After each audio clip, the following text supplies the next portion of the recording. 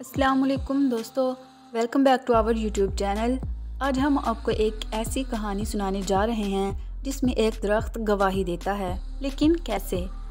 تو دوستو، یہ بات ہے پرانے وقتوں کی جب ایک دوست نے اپنے دوسرے دوست کو سو اشرفیاں ادھار دیں، لیکن اشرفیاں دیتے ہوئے اس نے کوئی رسید یا کوئی ثبوت نہیں لیا۔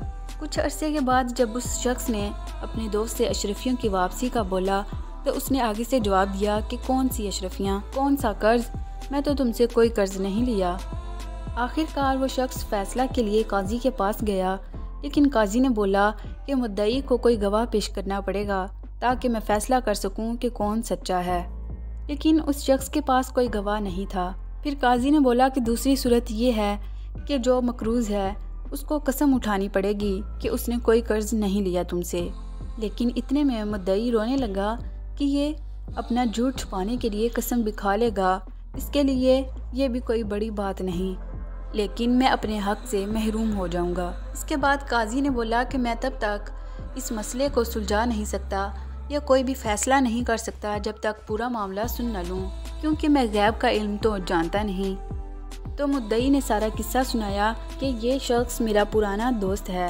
ایک دن ہم سیر کر رہے تھے کہ ایک درخت کے نیچے بیٹھ گئے۔ اور اس شخص نے مجھے اپنے حالات کا بتانا شروع کیا کہ میری دادی بیمار ہیں۔ شاید اس کا وقت قریب ہے۔ لیکن میرے پاس کفن دفن کے لیے بھی خرچ نہیں ہے۔ میرے پاس کچھ زمین ہے۔ میں چاہتا ہوں کہ وہ فروخت کر دوں تاکہ اس سے پیسوں کا انتظام ہو جائے اور میری عزت بھی خراب نہ ہو۔ لیکن زمین کا کوئی خریدار نہیں ہے اور میرے پاس اتنا وقت بھی نہیں۔ تو میں نے اس کی مشکل کو حل کرنے کے لیے اسے سو اشرفیاں دے دیں۔ حالانکہ اشرفیاں لیتے وقت اس نے مجھ سے وعدہ کیا تھا کہ ایک ماہ کے بعد لوٹا دے گا۔ اب میری والدہ بیمار ہو گئیں تو میں نے رقم کی واپسی مانگی، لیکن یہ شخص مکر گیا۔ قاضی نے واقعہ سننے کے بعد اس سے پوچھا کہ جس وقت تم نے اسے رقم دی تھی، اس وقت کہاں بیٹھے تھے؟ تو اس پر مدعی نے جواب دیا کہ درخت کے نیچے نہر کے قریب بیٹھے تھے۔ قاضی نے مقروض سے پوچھا کہ کیا یہ سچ ہے؟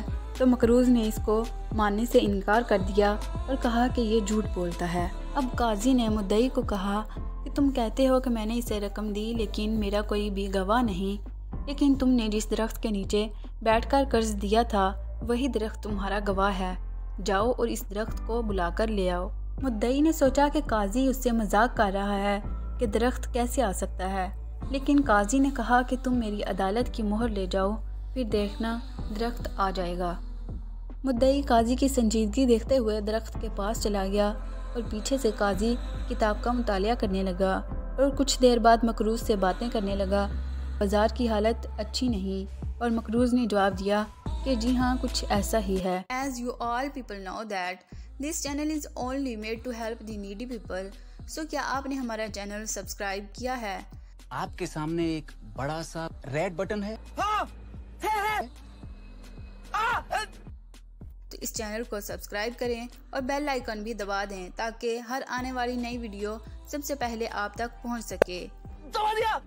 مقروض سمجھ رہا تھا کہ قاضی کے نزدیک وہ سچا ہے اور مدعی کا مذاق اڑایا ہے کہ اس کو درخت لینے کے لیے بھیج دیا۔ وہ بہت مطمئن ہو گیا۔ کچھ دیر مطالعہ کرنے کے بعد قاضی ایک دم سے بولا کہ مدعی اس درخت کے پاس پہنچ گیا ہوگا۔ مقروض نے جٹ سے جواب دیا کہ نہیں جناب وہ درخت بہت دور ہے۔ ابھی تک نہیں پہنچا ہوگا۔